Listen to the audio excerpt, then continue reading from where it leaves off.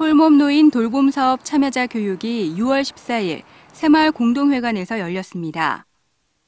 이 자리에는 새마을 부녀회원 200여 명이 참석한 가운데 취약노인 폭염 대비 대응 매뉴얼 교육과 노인 자살 및 노인 상담의 이해에 대한 강연이 진행되었습니다. 먼저 기후변화 관련 취약노인 폭염 대비 대응 매뉴얼 교육에서는 폭염으로 인한 사회 취약계층, 특히 독거노인에 대한 피해를 최소화하기 위한 위기 대응 체계와 관련해 독거노인 폭염 도우미 행동 요령과 폭염 대응 취약노인 보호 대책에 대한 내용이 소개됐습니다. 이어진 노인 자살 및 노인 상담의 이해에 대한 강연에서는 현재 남양주시에 거주하는 독거 어르신들의 현황에 관해 실예를 들어 설명하고 노인의 특성을 고려한 의사소통 기술, 노인 일자리 사업 등 어르신들께 실질적으로 도움을 줄 수 있는 다양한 방안들에 대해 알아봤습니다.